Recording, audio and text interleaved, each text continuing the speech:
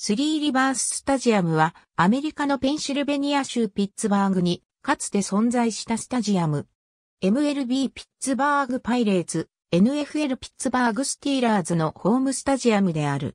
老朽化した本拠地球場に不満を持っていたパイレーツ、スティーラーズ両チームと都市活性化のため再開発を進めていた地元の思惑が一致。当時の流行の最先端だった円形の兼用球場が建設された。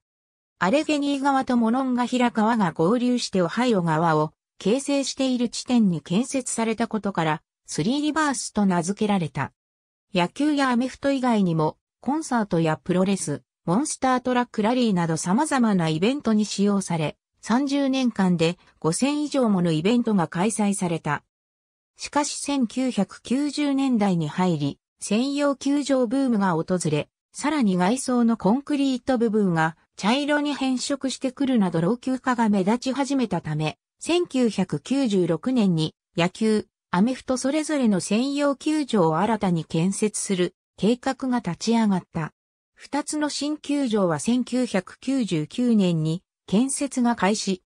2001年、パイレーツの新本拠地 PNC パークが開場する2ヶ月前、スティーラーズの新本拠地、ハインツフィールドが開場する6ヶ月前の2月11日に解体された。跡地は、ハインツフィールドの駐車場、ライブ会場、ステージ AE などになっている。ありがとうございます。